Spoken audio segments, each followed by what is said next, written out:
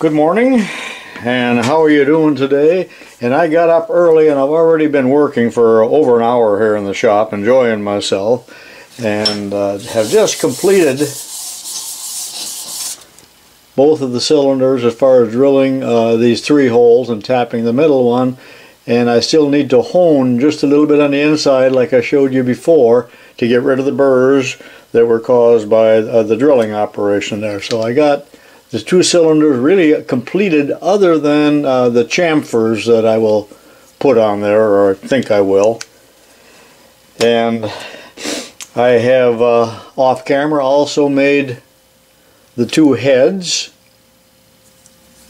Boy that brass is shiny but it won't stay that way long. I did something a little different this time just for ornamentation. I put a little step on there. I probably should have gone a little bit deeper but that's a rather precarious operation because it has to be chucked by the small step here, which uh, you need to pray while you're doing that so it doesn't fly out. But I used a collet, which seems to hold it, and that most of the pressure is, is this way, but that isn't much to hang on to. I also completed the two uh, connecting rod ends, got them drilled and tapped, so all of this stuff here rep represents really quite a bit of, of, time, you know, well over an hour, I suppose. Now, in uh, looking at my rough footage of this as I uh, as I go along, and, and there's an awful lot of it, it's well over three hours, but uh, it's interesting for me to note that, wow, when I've got this blown up on the computer screen, I see a lot of imperfections. I see sometimes where the finish isn't nearly as good as what I thought, and I see a drill bit that's wobbling so bad that I now I realize I got to throw that drill bit away. Or or I got a bad chuck uh, drill chuck or something like that but it really gets magnified uh, on the screen. I've got uh, a niece that uh, lives in Chicago and her boyfriend who's a Canadian quite a guy I really like him. He works in the movie industry in Chicago you know that toddling town they do a lot of movie work in Chicago, believe it or not. But one of his jobs, or his job, is in the editing, uh, finishing of the movie. But he said that they uh, go through frame by frame digitally, removing blemishes from the beautiful stars' faces. And yes, they do have blemishes in real life, because now a little zit that she has appears on the 40 foot screen the size of a 9 inch dinner plate. So uh, that that's how they get rid of that uh, with the uh, movie magic. But I can't do that here, and I got a little bit off topic, but uh, that's what I do. Looking at Yellow Boy too from this perspective, she's uh, being erected and set up, and uh, as I told you yesterday, I have a little bit of offset here on on this crank pin as opposed to this. Notice this is all the way down and this is about 10 degrees off and I discussed that earlier. And the next thing I'm going to do here is to make some uh, studs to hold the, uh, the cylinders on there so that I can then make the pistons, the rods, and, and transfer the holes. And possibly this thing will be uh, running by uh, tomorrow. I'm all set to put the chamfers on the cylinders and I told you there's so many different ways of doing it and you'll remember how I did these by using an end mill with a 45 degree angle on the end of it but uh, I'm going to show you an alternate way of doing it in case you do not have that end mill and you probably do not but using a regular end mill and holding your work at 45 degrees and of course you could tilt the head but I told you that I would rather take a beating than tilt the head. But uh, here's the, another way of doing it and that would be to use uh, your combination square 45 degrees make sure there's no chips under there and just set it on that tighten the vise. And if you don't have one of these uh, you perhaps have a, a 45 like this. That could also be used in this manner. Or I have this one from England. I think you've seen that before. That that works quite nice for that. That's the best one of all, really. But you could even use a, a little drafting 45. So let me set that up and uh, notice that I put uh, blacking on the corners where I, I want to uh, remove or I want to place the chamfer so I don't do it in the wrong spot. It's pretty easy to spoil a piece if you don't think about it or take precautions against it. Now I'm ready to mill, and this can come out because the, the vise is tight. I came up and uh, touched off, and there's two ways you can do that, and that is just to feed it in uh, after you've touched off, however many thousands, till you get the desired uh, chamfer of approximately 3 sixteenths, or whatever you want for your appearance, or uh, and then uh, remember that measurement, or you can use a ruler but then you have the possibility of not getting both sides the same. You can see there, I've just touched off.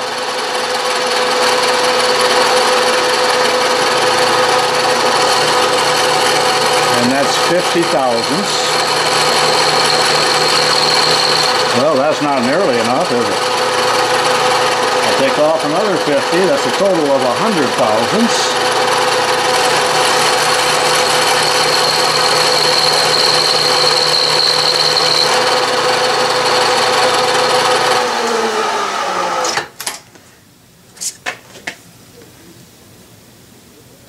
and the hundred thousandths gives me about 3 sixteenths. So I'll repeat it on the other corner and then on these two corners off camera, of course. As I'm assembling the engine now and the cylinders are finished, I made threaded rod and this time I just made uh, all thread. It's 540 all thread out of brass so there it's not a stud with a little unthreaded portion in the middle because those were kind of difficult to make so we'll see how it works with the all thread. And those uh, uh, threaded uh, pivots are can't even see a thread on there hardly about an inch long. And the spring that I'm using is uh, well, it's probably about 5 seconds it's not exactly what I use in the other engine, but the wire is uh, 32 thousandths. It's a little thicker and tougher than a ballpoint pen spring, but use whatever you got that seems to have enough tension to hold it, hold the cylinder tight up uh, against the frame. And uh, after I get this together, I want enough space between the two nuts there such that I can do my plumbing in a little while. So I might have to uh, cut that off just a little bit. And uh, remember that that thread will be held in here with Loctite so it doesn't unscrew itself while the engine is running.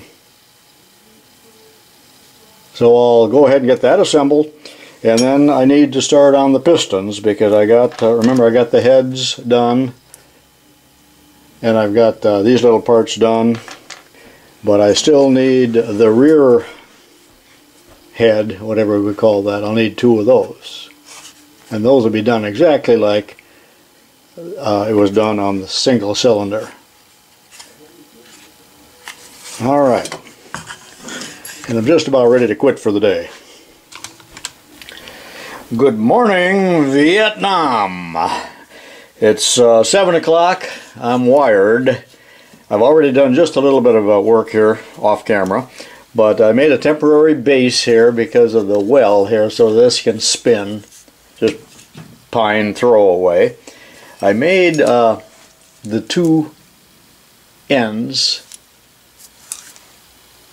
Now I drilled these uh, number 30 rather than reaming them an eighth. That gives me just a little bit of play here so I don't have to struggle. Would it leak here without a packing? You bet it's going to leak there a little bit, but it'll be minimal and uh, something I don't worry about. Remember, we don't want any tight spots. We don't want any binding. Address those issues as you go along. Everything should uh, should turn freely. Sh it should not bind. I can't emphasize that enough. Now, uh, a couple other things here. If you do not want to use Loctite, you can use screws here, but boy, they're going to have to be tiny screws. They're going to have to be number threes because they're just very, very little room. So don't attempt that unless you're used to working on real small uh, projects. Those number three screws can be bought at Radio Shack if they're still around. I liked it when they were Allied Radio. Uh, an alternate to that is to make yourself, where did I put it here? A little, uh, make your heads out of three-quarter square, I just had a piece here, three-quarter square brass and, and use that as a head. I'll find that in a second. It disappeared on me that quickly. Okay, uh, I'm going to finish up here with the pistons now. I'm going to work on the pistons next. And I won't show that because that also was uh, was shown earlier. And the, the video is getting too long. So, to work I go. I finally found it, but that's what your head could look like, just three-quarter square brass, perhaps uh, an eighth of an inch uh, or 3 sixteenths thick. That could have a step on it. You can turn it down and have a step on it and hold it with uh, Loctite. Or if you use uh, the square, you have a little bit more room for screws in the corners. But if you're going to use a, a square head, do not put the chamfers on here. Just telling you about some alternatives here now. I haven't talked about flywheels at all and I'm not going to say much other than what I'm saying right here. And I, of course, always use my little uh, lead flywheels, and uh, I have tons of them. You know, you've seen me cast these in other videos, but that's what I, I use. I like a spoked flywheel. I like a heavy flywheel. Do not make your flywheel out of aluminum. You need the inertia. You need the momentum. That's what a flywheel is all about. But you can make your flywheel just about any way you want. You can just have a plain disc and it ought to be about well these these flywheels are two and a half inches. So if you want the proportion the same make it uh, two and a half inches but uh, you can make it out of steel dish it a little bit like this or like on the back side don't dish it at all. Depends on what you what you want it to look like or how much work you want to put into it. Or you can do this and I have a video on that showing how to lay those holes out and how to drill that. If you go back into my archives here, you're going to find machine shop tips of Tubal Cain numbers 153 through 157 that cover flywheels and drilling bolt circles, laying them out by different methods and so on. But you, you might have seen that. But if you want to refer back to that, you can. And that's uh, how I made uh, this flywheel originally, if you like the looks of that. So that's all I'm going to say about flywheels, so on with the show. Cylinder 1 is done, the piston is in there. I'll take it apart and show it to you, but again, looking at the port here, notice that the piston comes up uh, right almost to it And then similarly, that happens back here too, but you, well, you can see it if I pull this back. Now I'm going to make the other side exactly the same off camera, but taking this off, what's a tight spring, it hurts my fingers. Pulling this out now. The aluminum piston is just a quarter inch long and it's just a nice fit in here not too tight not too loose Frenchman okay uh, and the overall length here of the piston rod is approximately two and a half inches but of course you've got to make yours to fit this is a easy slide here so that assembly is done and actually ready to, to Loctite into place for that matter. Now if you're going to do any more polishing I would do it ahead of time but you know that's about the limit of my polishing but you, you can see some vice marks or jaw marks on here from that four jaw chuck. Kind of inevitable unless you want to put some packing on there but that happened of course when I reamed this. I'll finish the other side off camera and the next time you see it uh, everything should be in place oh uh, I guess I forgot I would have remembered but uh, I have to I have to locate the ports also with that little transfer punch. Now that's going to be done exactly like I did earlier in the video, so I won't show that. But naturally, these little uh, holes have to be drilled. The steam holes. All eight steam ports have been drilled 1 16th inch and I'm just about ready to start some preliminary assembly work. You can see here where the ports are and I located those as shown earlier in the film. And as far as this uh, stay here, that comes dangerously close to the uh, cylinder.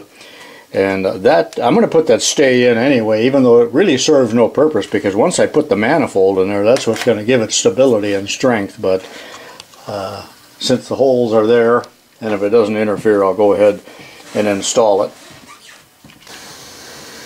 Some assembly required. I got it temporarily put together. By the way, this will be treated to a, a walnut base. This may not be big enough. I might have to make another one. So, um, here we go. The heads uh, on both ends are not uh, held in yet with Loctite, but uh, as you can see, that's what she's going to look like. The whole width of the engine really is a little more than I would have wanted, but I needed all of this room in here for the manifold, and let me talk about that now. The manifold is uh, going to be shaped like the letter H. Or is it the letter I for U of I? No, it's H. But it will be made out of quarter inch brass with uh, ports in it. And this and there'll be a little bit of a steam inlet right here. Now I could have made this out of tubing, but it sure would be difficult to solder that all together and connect it and the way it is, this will have to be soldered in, I believe. That's the way I'm going to do it. But do you see now why I wanted that extra space here between the studs for the manifold? And the manifold is just that. It's distributing the air or the steam into both ends of both cylinders. I will saw it out of the solid brass and drill the holes. I'm going to do all of that in the milling machine, I think, because it's, it's going to be rather tedious with small holes and I need a good fit so it'll stay in there as I solder it and hopefully not unsoldering my other joints. I've laid out the manifold on the quarter inch thick brass, the letter H.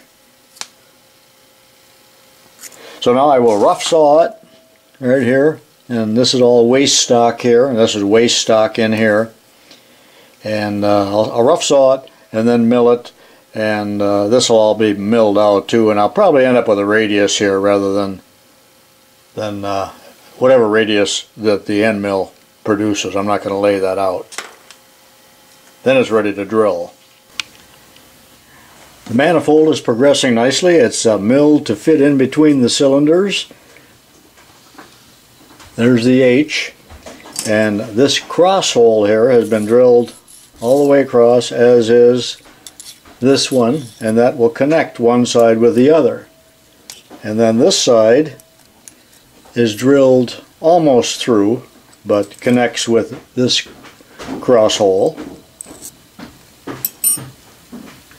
and then uh, this will be the inlet 3 16 tubing and the whole kit and caboodle of course has to be soldered in there. Now in order to get it to fit down far enough and uh, bypass these uh, stems here I'm going to mill this waste stock out of there or it could just be sawed out either way will do. These were 5 30 seconds holes and this is a 3 16 hole.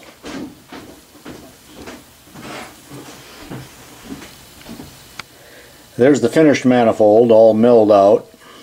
Just rough milled. I see it, it's a little thicker here than there, but I'm going to live with that. And uh, a 3 16 pipe, that's the inlet. Now I got to take the thing apart and carefully line up these holes with the uh, the steam holes so it, they're not being blocked, not being missed, do, do not get soldered shut. It'll be about in that position and uh, and I'm ready to solder it. Now I'm going to have to take care so that I do not unsolder these joints. In order to do that, I'm going to lay some uh, brass blocks in there that'll act as a heat sink. And then just use my little torch. I'd like to stick some uh, toothpicks or something that uh, cannot get soldered temporarily into the holes for alignment and also to prevent the solder from clogging the holes. So I'll do that now off camera. That was a tough soldering job using this little torch which wasn't quite up to it and uh,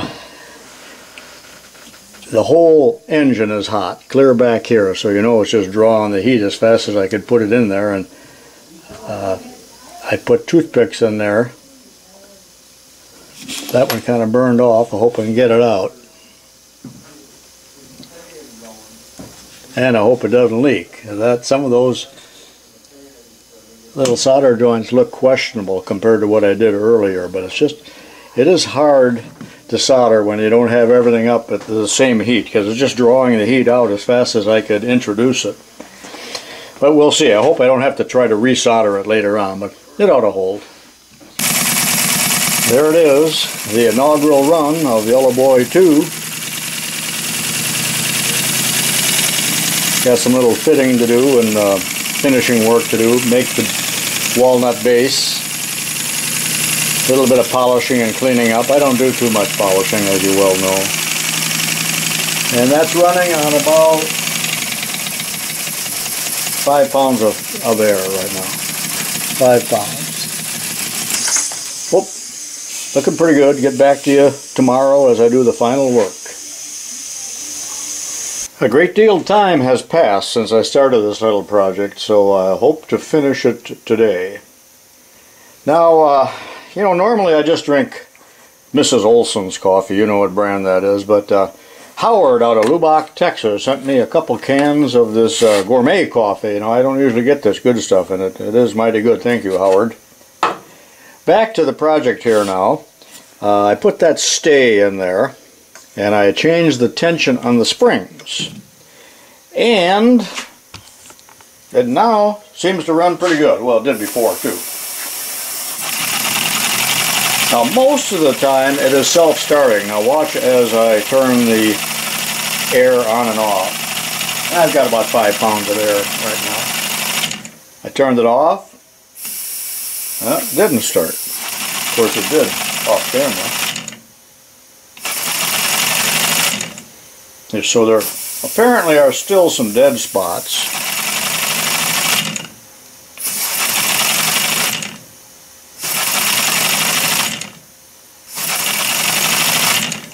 And I'm sure I could correct that by changing the timing here on the two crankshafts. Alright, now I'm going to take it off the temporary base and mount it onto the uh, permanent base. I have to make the base. I have to inlet it using uh, Forstner bits so I have clearance for the flywheel. So on with that. This has been a long video and a long engine build, but Yellow Boy 2 is done and running fine. Mounted on a walnut base. I did have to inlet it a little bit for the flywheel, but and that is the, the base. I did not have to make a new one, but it, maybe it would have been better to have a slightly bigger base. So if you remember now, this is Yellow Boy 1, the one cylinder, Yellow Boy 2, this was a prototype that I did earlier as I prepared for this video and then here's the second one I made. I don't it is a yellow boy that I don't have a, a name for but it, and it's very similar to yellow boy 1 just uh, stand by for a, a, grand finale here as I run all of them. And uh, if the com compressor uh, kicks on why uh, you'll just have to bear with it. I'm going to use a lot of air but I started with the patterns, as you remember, using sheet brass and um, bar stock. Have uh, finally completed it.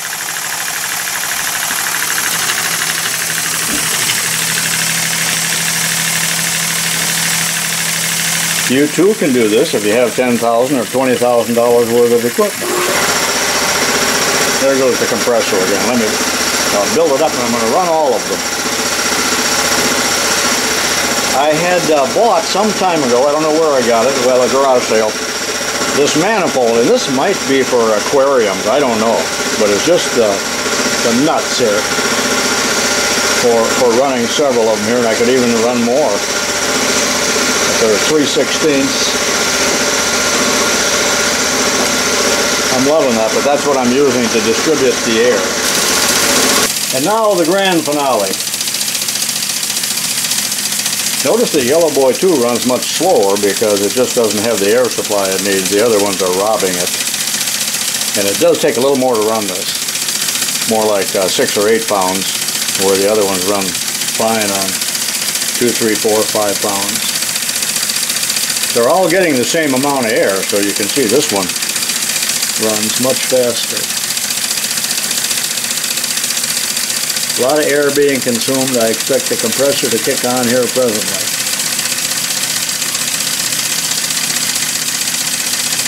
I hope this stimulates you to uh, wanting to work in your shop or to maybe uh, have an engine build. And I hope you've enjoyed this video. I enjoyed making the engines and producing the video. So continue watching my videos under Tubal-Cain or Mr. Pete 222. I've got 500 videos and uh, many more to come depending on how long I live. So this is Tubal-Cain saying so long for now.